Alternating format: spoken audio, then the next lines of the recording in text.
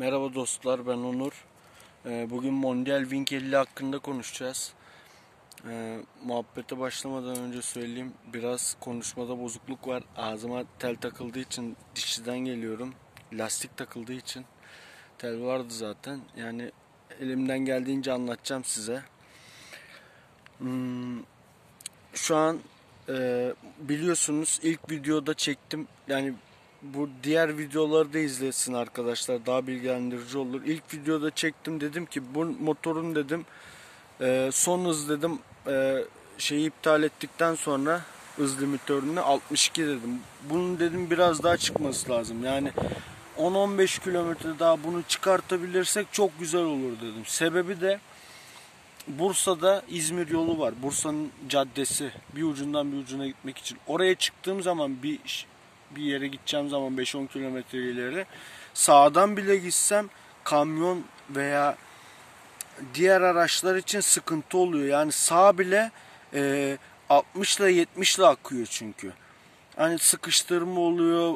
Biliyorsunuz biraz eğim oluyor. Batçıktan geçiyoruz. Hızım kesiliyor zaten 40'a 50'ye geliyor. Yani bunu dedim biraz hızlandıralım. Çünkü neden? Bayır aşağı bile insek motor 62'de takılıyor. Tutuyor motoru bir şey. Kafaya koydum bunu dedim halledeceğim. Ee, tek hedefimiz buydu. Biliyorum zaten bu motorun canı 49 cc orijinal enjeksiyonlu. Buna ne yapsan olmaz. Ama dedim daha önceden de 50 cc kullandığımız için bununla dedim oynayacağız bir şeyler yapacağız. İkinci videoda yaptım. Anlattım size arkadaşlar tek tek yaptığım her şeyi. Şu an şöyle söyleyeyim. Motor tabi memnun kaldım yaptırdığımda. Ama İzmir yoluna çıktığımızda falan 70-75 çok güzel akıyor. Tam istediğim gibi oldu. Şöyle bir sıkıntı oluştu. Rampada, dik bir rampada. Mesela size şöyle göstereyim. Ben şu an yine çok dik bir yere çıktım motorla.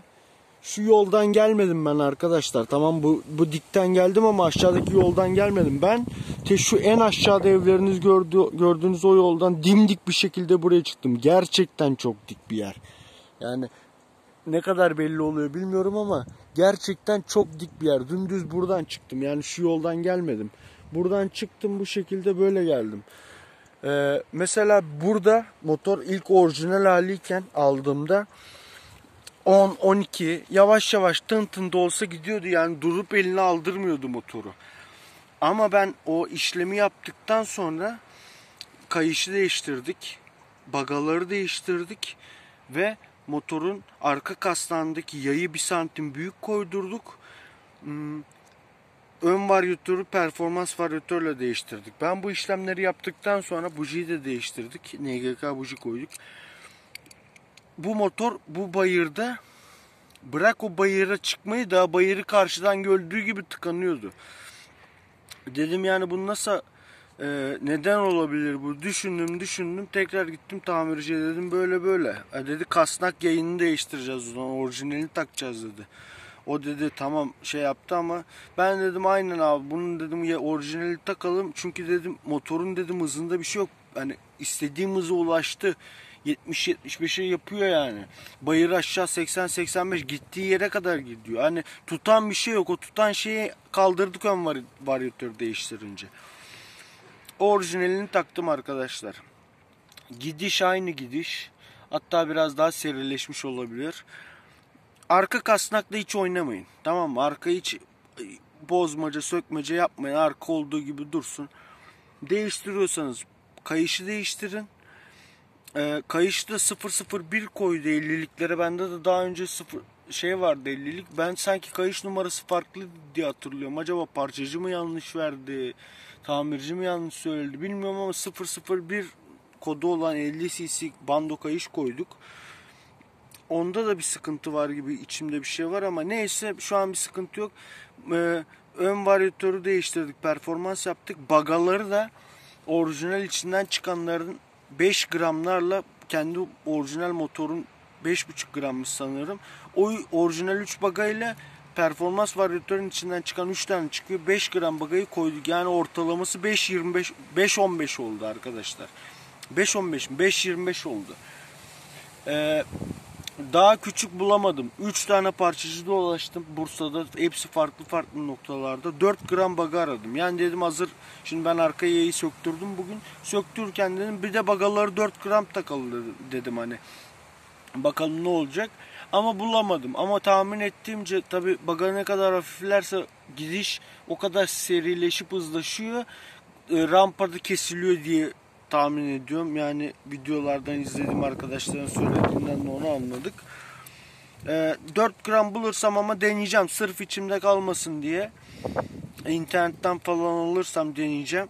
Onu da videosunu atarım. Ama şu an dediğim gibi bu bagalarla orijinal kasnak arka taraf aynı. Ön varyatörü değiştirdik arkadaşlar. Motor gidiyor. Şöyle söyleyeyim size. 10 kilometre yol geldim buradan şey tamirciden sonra. Yani tek ben 89 kiloyum. Ee, düz yolda e, yani dümdüz bir yol İzmir yolu bizim buradaki cadde dümdüz yolda 70, 73, 74 yoluna göre önün boşsa bas gidiyor 74, 73 anladınız mı? Oralarda düz yolda o şekilde. Rampayı görsün, hafif aşağı doğru eğimi görsün. Gidiyor. 77, 78, 79, 80, 82. Onları gördüm bak. Gözümle gördüğümü anlatıyorum size az önce. Ee, yani bayır yukarıda az önce gösterdiğim bu bayırı motorla buraya kadar çıktım. Anladınız mı? Hani bayılsa da en dim, dimdik bir yeri vardı bunun tam ucunun burnu. Orada bayıldı böyle 4-5 yaptı. Bir şekilde çıktık. Ama yani çok dik arkadaşlar. Nasıl size gösterdim yani. Böyle bir şeyden bahsediyor size. Yani benim anlatacaklarım bu kadar. Umarım arkadaşlara yardımcı olabilmişimdir. Gerçekten videolarımın içinde en çok izlenen motor videosu oldu. Yani ben de dedim ki bir de trafikte çok görmeye başladım bizim motordan. Hani al, alıcısı çok hani insanlar alıyorum veya almak isteyenler var, merak edenler var. Hani bir yardımcı olayım. Çünkü ben izlerken hiç böyle şeyler yoktu. Hani adam almış sinyali buradan çalışıyor, kornası buradan basılıyor. Yani onları söyle demeye gerek yok. Onlardan bir sürü var. Ben size anlatıyorum. Bu motoru alanlar e, performans hayaliyle alıyorlar. İstedikleri gibi de olmuyor satmaya çalışıyorlar. 100 kilometrede 300 kilometrede. Yani onlardan olmayın. Ne alacağınızı bilin.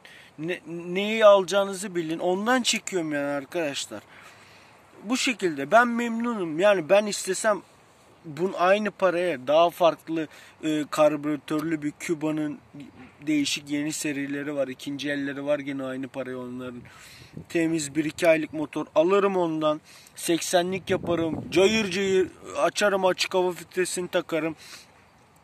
Oynatırım motoruyla cayır cayır gezerim. Normal yüzlük gibi. Ama benim niyetim o değil ki. Ee, bağırıyor Peugeot motor gibi sokak arasına bir giriyorsun zaten yani bir değişik. Benim niyetim o değil. Ben bununla AVM'ye de gidiyorum, kafeye de gidiyorum. Yani rahat rahat geziyorum. Benim niyetimiz değil, acelem de yok. Ama sadece bazı yerlerde de hani e, şey sıkıntı yaşamak istemediğim için bunu yaptım. Motorun şekli çok güzel. Ben şekline bayıldım. Vespa stickerlarını da koyduk. Bu şekilde Vespa da yaptık. Yani Böyle arkadaşlar Çin malı motor illa ki ufak tefek şeyleri çıkıyor. Çıkmıyor değil. Hani orasından burasından ses geliyor ama hallediliyor. Acık eliniz tornavida tutuyorsa alın ayar çekin yani. Ama ben şöyle söyleyeyim bunların motorunda sıkıntı çıkmaz aga. Çıkmaz yani. Her yerinde çıkar motorda sıkıntı çıkmaz. Yağını değiştir zamanında. Hiçbir şey olmaz. Tertemiz binersin. Yani ülkemizin ekonomik durumları ortada. Yani motorlar pahalandı. Her şey pahalandı. Aga yani bütçenize göre alabileceğiniz en güzel motor işinizi görür. Ya şu an dikkat edin bütün güvenlikler evden işe gitmeye motor bunu 50'liklerden alıyor. Talep var. Yaz kış 50'liğe talep var. Kuyu arkadaşlar e, Eves'te giriyorlar trend yola oraya buraya. Yani onun da mantıklı olduğunu düşünmüyorum da mesela 50'lik alıyorlar. Satmaya çalışıyorlar. Yani bunun piyasası var. Bu alıp satılıyor. Hani elinizde kalmaz. Emin olun yüzlük alın bir tane Çin malı onu satacağım diye göbeğiniz çatlar ama 50'likte bir sıkıntı olmaz. Yani benim söyleyeceklerim bu kadar. Aklıma gelenler bunlar. Elimden geldiğince ağzımda teller olmasına rağmen esir gene konuşup size şey yapıyorum yani e, ben bundan zevk alıyorum yani ben mutlu oluyorum ben bu video işinden dediğim gibi işten çıkartıldık ta işsizlik alıyorum e, boşta duruyoruz mining yapıyoruz yani Allah şükür gelirimiz var boştayken canımız sıkılıyor bu işe de el attık yani ben zevk aldığım için bu işi bu şekilde yapıyorum muhabbet sohbet yeni arkadaşlarla tanışıyoruz geçen bir tanesiyle görüştük mesela yani güzel oluyor arkadaşlar yani sizin de merak ettiğiniz varsa sorun. Bursa'da olan varsa görüşürüz. Problem yok. Yani diğer videolarıma da bakabilirsiniz. Yani videoyu beğendiyseniz, faydalı bulduysanız beğenin. Hani abone olun. İşte bildirimleri açmasanız da sizi rahatsız etmez yani diğer videolar falan geldiğinde. Abone olursanız şu an uğraşıyorum bin aboneye ulaşmak için çünkü şeyi açmam gerek. Yani bu ödeme sistemi değil de canlı yayın işte durum paylaşmak falan filan bunların açılmasını istiyorum. İzlediğiniz için teşekkür ederim dostlar. Şu an bu şekilde buradan videoyu yaptık gene. Burası benim mekan. Böyle.